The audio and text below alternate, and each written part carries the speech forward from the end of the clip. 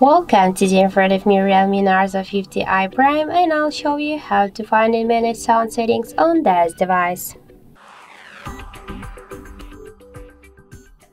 So first let's open the settings application and then select the sound section. After that you'll see here media, call, ring and notification and alarm volume panels and just change the volume of calls, medias, ringtones, and alarms, you should hold and swipe to the left or to the right side this white dot.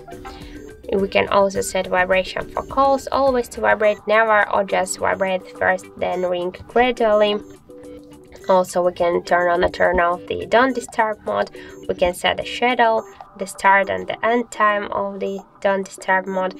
We can also accept the calls from just um, any contacts or just applications here. We can activate or turn off the shortcut to prevalent ringing. So by this way, just click on the switcher to turn it on or turn it off. Uh, we can also change the ringtone uh, the, notifications and alarm sounds here. And in other settings we can turn on and turn off the dial tone screen lock and lock sounds charging sounds and vibration touch sounds and touch vibration. So just to turn on and turn off all of these options you should click on each of these switchers so that's it. Thank you for watching. And if you find this video helpful don't forget to leave a like comment and to subscribe our channel